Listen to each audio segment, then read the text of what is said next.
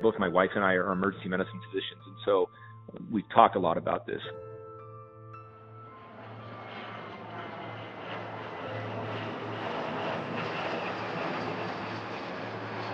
We weren't prepared for this, and you can see that, um, you know, looking back at how this was handled initially. And so the ball was definitively dropped, and that cost lives. I don't have any doubt about that.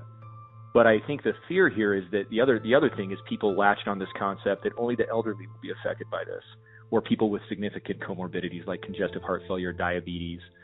And unfortunately, that's not the case. You know, there are people who are my age. I'm 39.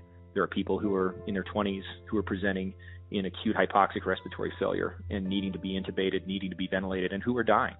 Um, teenagers have died. So, un- un- luckily, this is not affecting pediatric population as much as it is, you know, uh, adults. And obviously, you have a higher risk of of dying with having diabetes, being 80, you know, having you know a poor heart or or poor lung function. But there's no doubt that people my age who are completely healthy are ending up on ventilators and dying. And so, being an emergency medicine physician, and you know, the job is is, is resuscitating these patients, and you know, not only and, and recognizing how virulent this thing is. You know, it stays on surfaces for three days. It's easily it's easily aerosolized. You know, if we do chest compressions on a patient who has COVID-19 and codes, they can aerosolize all you do in chest compressions. If you put a nasal cannula in these patients, high flow nasal cannula, they can breathe out through their oral pharynx and aerosolize that way. So, and, and, and as a provider, you're breathing that stuff in, you know.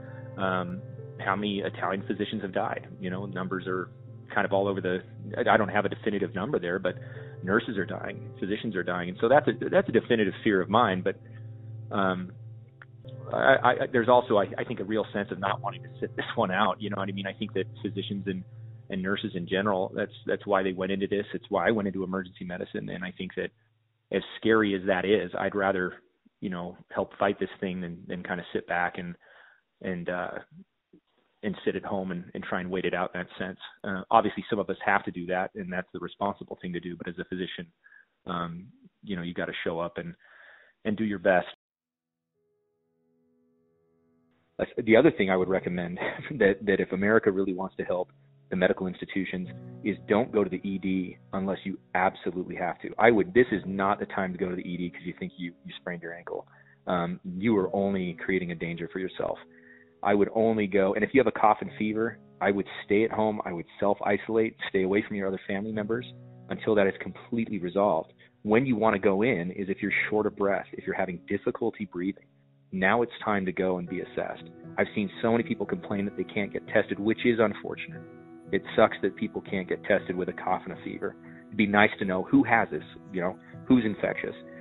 But right now we just don't have the tests. And so I would just, yeah, this is not the time to go into the ED unless you really are you know, you think you're having a heart attack, you think you're having a stroke. Yeah, absolutely come into the emergency department. But I think if people can stay away from those institutions, if you just have a cough, if you just have a fever, I would stay at home.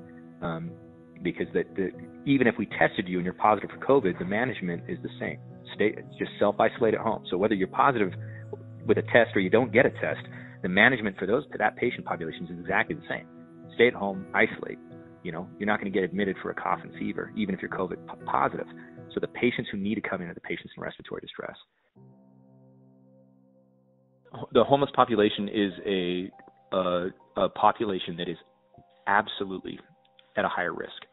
They have comorbidities that are they're often unknown. Um, they can be diabetic without anybody. You know, they're not they're not taking medications often. Um, they're a population that, it, you know, they have nowhere they they how do they isolate? How do they how do they care for themselves? How do they get medications? How do they get treatments? How do they how do they call for help? You know, uh, how do they get uh, the help that they need if they're in trouble? I think what they're doing in Vegas. Uh, I don't know if you've seen this, but they've they've basically marked off areas in a parking lot that are six feet by six feet for homeless people to basically come and lay there on the street. Uh, Wow. It's it's a it's a ridiculous concept. Um, first off, I think it just goes. I mean, you've got a bunch of empty hotels in Vegas right now. Why don't you put these people in hotels? And then I think the concept of putting up this invisible barrier that oh six by six just stay away from each other. Well, these are human beings. They're going to congregate. They're going to talk. You're literally putting all the homeless people together now, which I think is a much higher risk, right? That's like putting people on a cruise ship right now. it's dangerous. So I, I don't know who came up with that. I think it's ludicrous. I think it's also an insult to their humanity. But they are absolutely a population who's at higher risk of getting this virus and then succumbing to it because they don't have access to care. There's been some lines drawn in the sand about, you know, some racial lines drawn in the sand, which is unfortunate. We've seen um, the abuse of Asian Americans uh, because of, you know, people have associated this virus with China, which is completely ridiculous, erroneous, and racist. Um, that doesn't help anybody. You know, this is no one's fault. This is a random occurrence of a virus that has taken the world by storm. And, and what's I think that's probably the saddest thing to see is the way people tend to fall apart over this. They don't listen to, you know, scientists and the, these people who are still holding gatherings. The kids who went to New Jersey to celebrate spring break. You know, we have a pastor down in Louisiana who's holding thousand person congregations uh, in defiance of, of the governor of the state. Those all those people are putting all of us at risk. Um, but but more more than anybody, I think physicians and nurses who would have to take care of these patients if they get sick. That's exactly how you end up overwhelming the system. Is hey, let's not self isolate. Let's not listen to what scientists are saying. You know, people have said this is the great equalizer, but I disagree. You know, yeah, we've seen some NBA players infected, and yeah, some some people who were uh, well-to-do have died, absolutely. But it's it's not a, it's it's not a, it's not. I wouldn't call it the great equalizer. I would say that it's you still have people who are at much higher risk because of their socioeconomic status and that's that's medicine in general, right? I mean, poor people are going to die of things that they shouldn't die of because they don't have access to care. Um, that's that's nothing new, and so you'll see that with this. So my message to people would be, you know, stay at home, listen to the scientific community, um, and I would I would say to people, this is a good time to tell people who you love that you love them. Um, a lot more people are going to die from this so this is the time to make that phone call um, or to reach out to somebody, eh, you know, to put a fight aside in a family, a family feud or something. This is a time to reach out and say, hey, I care about you and I love you because you may not have the opportunity.